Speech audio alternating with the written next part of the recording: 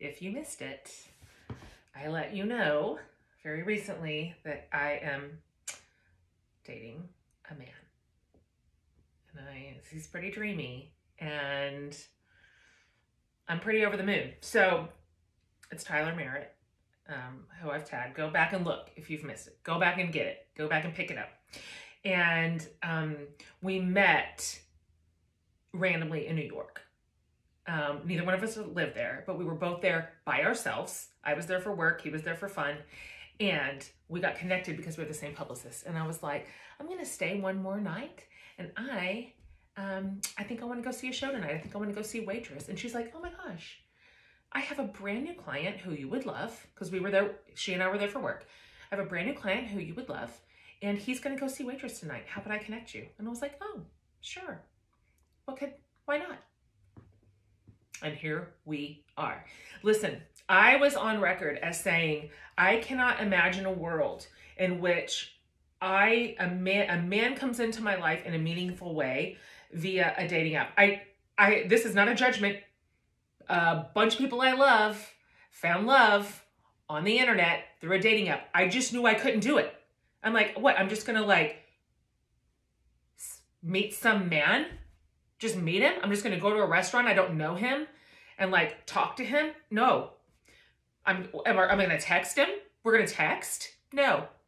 Um, it just felt impossible to me, you guys. I'm very old fashioned, right? And um, the last time I had a first date was in 1992. All right, so let's just go ahead and say I was out of practice and I don't understand the new ways. And so, thank you, Tyler, for saving me from like Bumble or whatever. And also, I want you just to know now how dating is going for me because um, basically all the time I'm sort of just like, I can't, I can't do anything because I'm dating. It's, that's where my that's where my brain is right? That's where my attention is going. That is what i want to do. So i'm just like oh i'm, I'm sorry i'm not going to be able to make that deadline because i'm dating. Uh, and this transfers to all kinds of things. Like i'm it's just i'm using it carte blanche. Like oh i'm going to be unable to think about this at all because I'm dating. Or I'll tell the kids, oh, I'm sorry, I'm not going to be cooking dinner tonight. I'm dating. I don't, well, you want to cut an onion? That's not what I do anymore. So um, that is a useful, I don't know how long I can keep that up, but it is what I'm doing because um, it is how it feels. So anyway, he is phenomenal human. A bunch of y'all went and followed him after I introduced him to the community and he was like, this is a lot of women. It's a lot of women and it's a lot of white women at that. I'm like, I know. Um, he's black. And then all the white women came for him. And so, you know, God bless thoughts and prayers to him. You know, y'all keep him in your prayers as he navigates this new world. Um, but anyway, this is me all the time. It's gross. We're gross. I admit it. I freely admit it. It's gross. Not sorry. So, um, so I just want to give all my feelings, all my shout outs to the women out there in our, the, in the middle of our life who are having to date again. Like, what does that mean? And what does this look like? And how do I do this? And who will help us, right? Who will help us?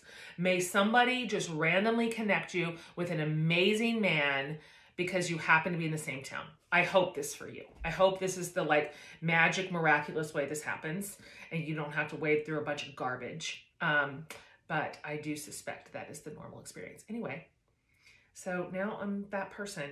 I am that person. I feel it. I feel myself being that person and I cannot stop it. I feel myself saying like, Jen, have some chill. Also do your work. Also cook dinner. Also like, there's other, what else is going on in the world? Can't stop it. So now you know that about me. All right, everybody. I just, this is what I know so far. This is what I know so far about anything on this subject. Um, but I'm pretty happy about it. Okay. Um, have a great day, everybody. To all my like dating warriors out there, just keep going. Like there, there are good men. I, I'm telling you, it's a, I found one. I, there, he can't be the only one, right? I think they're out there. Just like keep going. Come on, champions. You know what? I guess you're just to go to a restaurant. You are just to talk and you are just to text. That's how it's to go. I believe in you. All right, y'all. Y'all be sweet to Tyler. Y'all be real sweet to him. We're a lot to handle. This is a lot. This is a lot. Um, and he's just a man, like just living his life. And all of a sudden he's like, whoa. I'm like, well, I knew, I knew that it was going to be a whoa for somebody. And he's the one. So be gentle with him. Ease him in. You know what I mean? Gentle.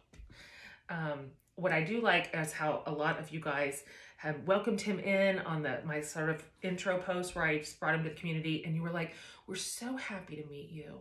Like, we're so glad you're here. We're we are we're just already a fan of you. And if you hurt Jen, we will hunt you down in the streets. I'm like, oh, it's like a, the nicest threat you've ever gotten, you know? I knew that was coming. So anyway, like you're having my back, but so does he. So be, be good to him. Be good to him. Okay, everybody, that's it. That's my dating ramble about Tyler.